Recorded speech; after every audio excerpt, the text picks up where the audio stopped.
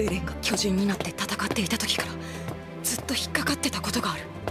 まだ考えがまとまってないけどやってやる。喋りながらでも考えろ。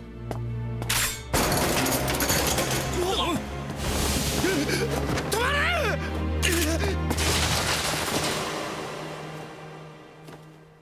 ついに正体を現したら化け物め。送るぞ。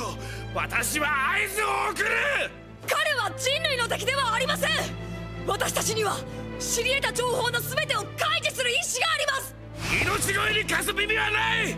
目の前で正体を表しておいて今さら何を言う。奴が敵でないというのなら証拠を出せ。それができなければ危険を排除するまでだ。証拠は必要ありません。そ必要ない。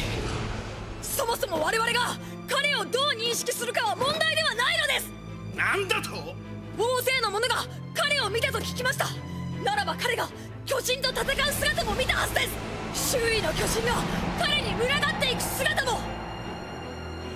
つまり巨人は彼のことを我々人類と同じ捕食対象として認識しました。我々がいくら知恵を絞ろうともこの事実だけは動きません。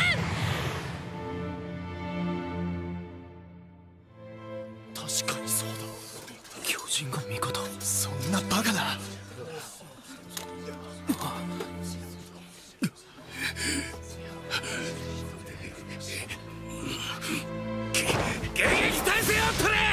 奴らの巧妙な罠に惑わされる。な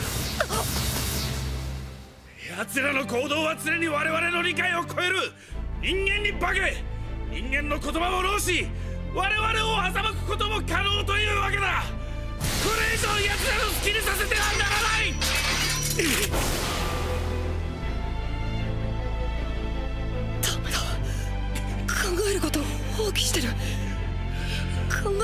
怖いんだ。エレンミカサ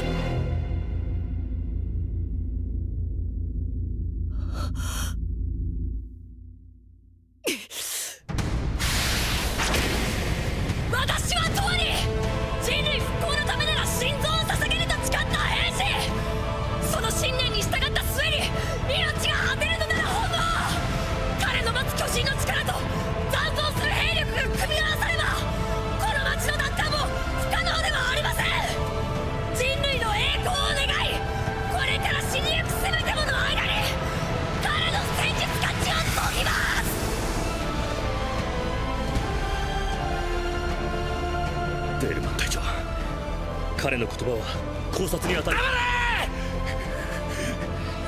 どう命乞いしようと奴らは反逆者だ。規則に反する者は排除する。それが兵士たる者の務めだ。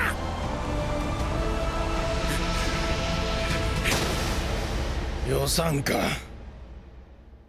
相変わらず図体の割には小鹿のように繊細な男じゃピクシス司令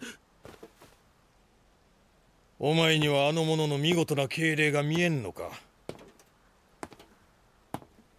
今着いたところだが状況は早馬で伝わっておる。お前は増援の指揮につけ。わしはあの者らの話を聞いた方がいい気がするのう。